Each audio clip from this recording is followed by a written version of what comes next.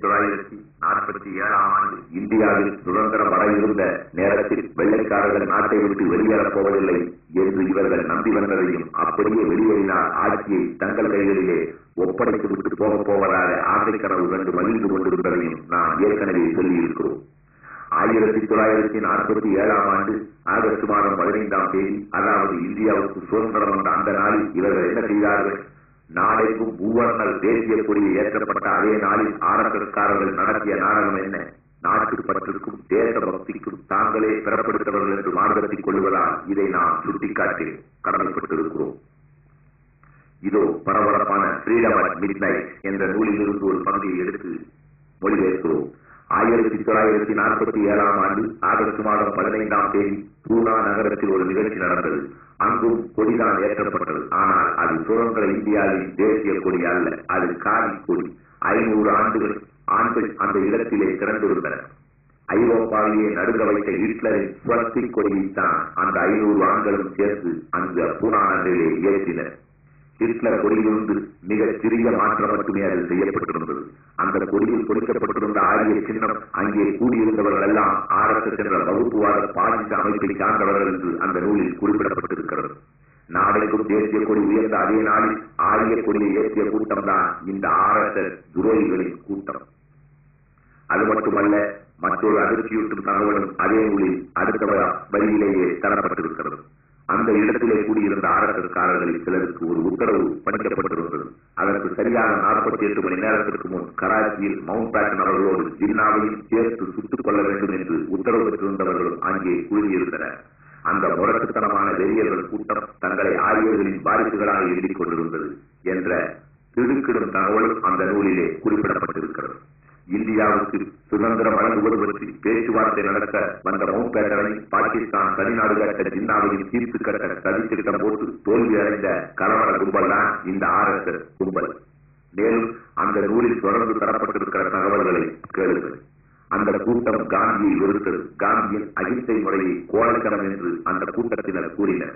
முஸ்லிம் மைனாரிட்டிகளோடு சகோதர தன்மையோடு பழக வேண்டும் என்று காந்தியர் சொன்னதை அவர்களால் பொறுத்துக் கொள்ள முடியவில்லை. இந்தியாவுக்குள் நுழைந்த ஆரியர்களின் வாரிசுகளான அந்த கூட்டம் தங்களை கருதிக் கொண்டது. முஸ்லீம்கள் தனிநாடு பெற்றதற்கு ஒரே காரணம் காந்திதான் என்று அவர்கள் சொன்னார்கள். அந்த கூட்டத்திலே முதல் வரிசையிலே நின்று கொண்டிருந்தவர் Nathuram Godse freedom at midnight நூலின் பக்கம் இருநூற்று எழுபத்தி மூன்று முதல் இருநூற்று எழுபத்தி ஐந்தில் கூறப்பட்டிருக்கின்ற தகவல் தான் இதுவரை கூறி வந்த தகவல்கள். ஆமாம் காந்தியரை சுற்றிக் கொண்ட அதே நாகுராம் கோட்சேதான் அன்றைய தினம் ஆயிரத்தி தொள்ளாயிரத்தி நாற்பத்தி ஏழு ஆகஸ்ட் பதினைந்தில் ஆர்எஸ்எஸ் சேர்ந்து ஆரிய கொடியை ஆரியர்களின் கொடியை பூனா நகரிலே ஏற்றியவன். அந்த கோட்சே ஒரு பத்திரிகையின் ஆசிரியர் அந்த பத்திரிகையின் பெயர் ஹிந்து ராஷ்டிரா என்பதால் சுதந்திர நாளில் அந்த பத்திரிகையின் தலைமரத்தை பகுதி கருப்பு மையினால் நிரப்பப்பட்டு வெளிவந்தது. ஆரிய கொடி ஏற்றிய போது முன்வரிசையில் இருந்து கொண்டிருந்த நாகராம் கோட்சே உணர்ச்சி வசப்பட்டு அலறுகிறான்.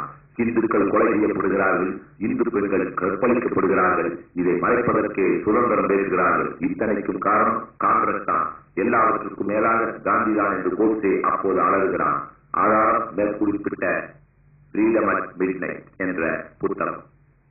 உடனே நாகராம் போட்டு ஐநூறு தொண்டர்களோடு சேர்ந்து ஆரிய கொடிக்கு சல்யூட் அடிக்கிறான். குனிந்து தரையை தொட்டு கண்களில் ஒட்டிக்கொண்டு என்னை வளர்த்த தாய்நாடு உனக்கான எங்கள் உடல் சாக தயார் என்று பிரகடனப்படுத்துகிறான். அதற்கு பிறகு ஐந்து மாதங்களில் ஆயிரத்தி தொள்ளாயிரத்தி நாற்பத்தி எட்டாம் ஆண்டு ஜனவரி முப்பதில் அதே நாதுராம் கோட்சே என்ற பார்ப்பனரால் தான் காந்தியார் சுட்டுக் கொல்லப்படுகிறார். காந்தியர் கொலைக்கும் ஆரம்பக்காரர்களுக்கும் உள்ள தொடர்பை அடுத்த கேசத்தில் விரிவாக ஆதாரங்களோடு உங்களுக்கு எடுத்து வைக்கிறேன்.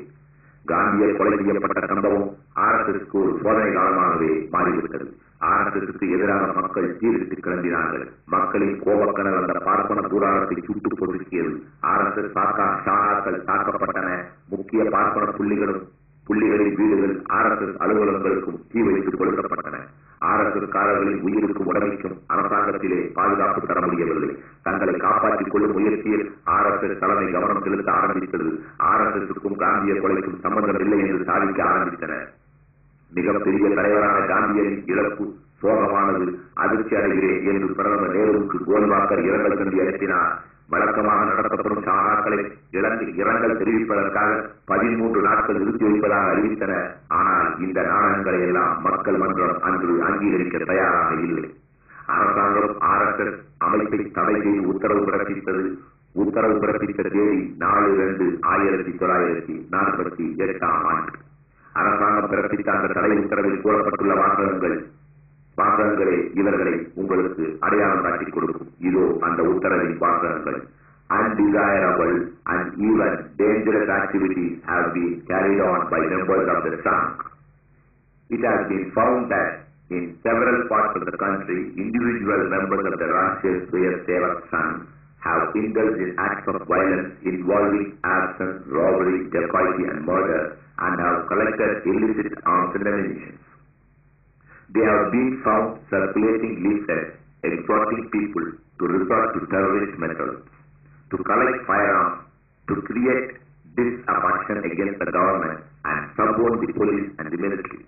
These activities have been carried on under a cloak of secrecy and the government have considered from time to time how far these activities render it incumbent on them to deal with the sons in its cooperate, corporate capacity. விரும்பத்தகாத இன்னும் ஆபத்தான நடவடிக்கைகளை ஆரக்கக்காரர்கள் மேற்கொண்டு வருகிறார்கள். நாட்டின் பல்வேறு பகுதிகளில் ஆரக்கக்காரர்கள் கொள்ளை வழிப்பறி கொலை போன்ற வழி வன்முறைகளில் ஈடுபட்டு வருகிறார்கள் என்று என்பது கண்டுபிடிக்கப்பட்டு உள்ளது. சட்டவிரோதமான பயங்கர ஆயுதங்களை அவர்கள் சேகரித்து வைத்திருக்கிறார்கள். வெடிமருந்துகளை சேகரித்து வைத்திருக்கின்றனர்.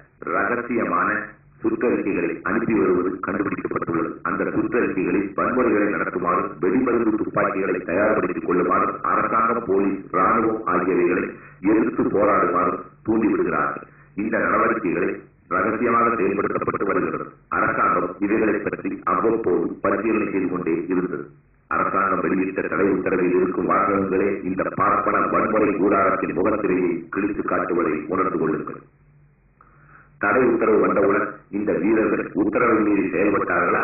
அப்போதும் அவசர நிலையில் இவர்கள் கடைபிடித்த அதே வீரத்தைத்தான் பின்பற்றினார்கள். தடை உத்தரவை எதிர்க்க வேண்டாம் என்று முடிவெடுத்தனர் வழக்கமான சாகாக்கள் நிறுத்தப்பட்டு கூடி பேசுவது கூடி சாப்பிடுவது என்ற முறைகளை பின்பற்றினர் சிறைக்கு வெளியே இருந்தவர்கள் உள்ளே இருப்பவர்களை விடுதலை செய்வதற்கு கருணை மனு போல துவங்கினர்.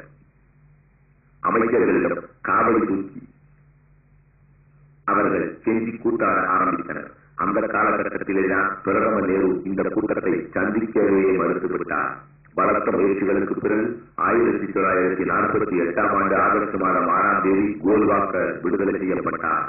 விடுதலையாகி வெளியே வந்த கோல்வாக்கர் ஆர் மீதான தடையை நீக்குவதற்கு அரசாங்கத்திடம் மன்றாட கேள்வி கூட்டாட ஆரம்பித்தார். அந்த காலகட்டத்தில் கோல்வாக்கர் நேருவுடனும் பட்டேலுடனும் நடத்திய கடித போக்குவரத்துக்களுக்கு ஒரு தனி நூலாகவே வெளிவந்துள்ளது தங்கள் அமைப்புக்கும் வன்முறைக்கும் தொடர்பே இல்லை என்று இவர்கள் சொல்வதை தான் நம்ப தயாராக இல்லை என்று நேரு தெள்ள தெளிவான பதிலை எழுதியுள்ளார். நாட்டிலே கம்யூனிஸ்ட் கட்சிகளின் அபாயம் இருந்து வருகிறது. பல இளைஞர்கள் கம்யூனிஸ்ட் கட்சியை நோக்கி போய்க் கொண்டிருக்கிறார்கள் கம்யூனிஸ்ட் கட்சியின் வளர்ச்சி பற்றி திடுக்கிடும் செய்திகள் வந்து கொண்டிருக்கின்றன. எனவே ஆரம்ப தடை நீக்கப்பட்டால் அரசாங்கத்தோடு ஒத்துழைத்து கம்யூனிஸ்டுகளை எதிர்த்து கலாச்சார ரீதியாக ஆர்எஸ்எஸ் போராடும் என்று கம்யூனிஸ்டுகளை காரணம் காட்டி கோல்வாக்க நேருவிடம் மண்டியிட்டு கடிதம் எழுதினார். செப்டம்பர் இருபத்தி நான்கு பத்தொன்பது எட்டில் எழுதப்பட்ட கடிதம். செப்டம்பர் மாதம் இருபத்தி நான்கு ஆயிரத்தி தொள்ளாயிரத்தி நாற்பத்தி எட்டாம் ஆண்டில் எழுதப்பட்ட கடிதம். பார்ப்பனர்கள் எப்படி கூச்ச நாச்சமின்றி தங்கள் உருவத்தை மாற்றிக் கொள்பவர்கள் என்பதற்கு இந்த கடிதங்களை சான்று அதே நாளில் பட்டேலுக்கு கோல்வாக்கர் ஒரு கடிதம் எழுதுகிறார். அந்த கடிதத்தில் உங்களிடம் ஆட்சி அதிகார கட்சி இருக்கிறது. எங்களிடம் அமைப்பு ரீதியான ஒரு கலாச்சார கட்சி இருக்கிறது. நமது இந்த இரண்டு கட்சிகளும் ஒன்று சேர்ந்தால் வளர்ந்து வரும் இந்த கம்யூனிஸ்ட பேராபத்தை நாம் முறியடித்து காட்ட முடியும் என்று எழுதினார். ஆதாரம் justice on trial historical document of Guruji government correspondent பக்கம் எட்டு ஒன்பது. இப்படி ஒரு பக்கம் கடித போக்குவரத்துகள் நடந்து கொண்டிருக்கும் போது கையெழுத்து இயக்கத்தையும் மற்றொரு பக்கம் நடத்தின ஆனால் அதற்கு பொதுமக்கள் ஆதரவு கிடைக்கவில்லை பிறகு ஆச்சாரியா திருவாராயணன் தரும தலைமையில் ஜனாதிப சமதி என்ற ஒரு மக்களாதரவு கிடைக்கிறது. கிடைக்கவில்லை வேறு வழியில்லாமல் விரக்தி அடைந்து போய் ஆயிரத்தி தொள்ளாயிரத்தி நாற்பத்தி எட்டாம் ஆண்டு டிசம்பரில் சத்தியாகிரக போராட்டம் என்று அறிவித்தார்கள். இதற்கும் பொதுமக்களிடமோ அரசிடமோ எந்த மரியாதையும் கிடைக்கவில்லை. R S S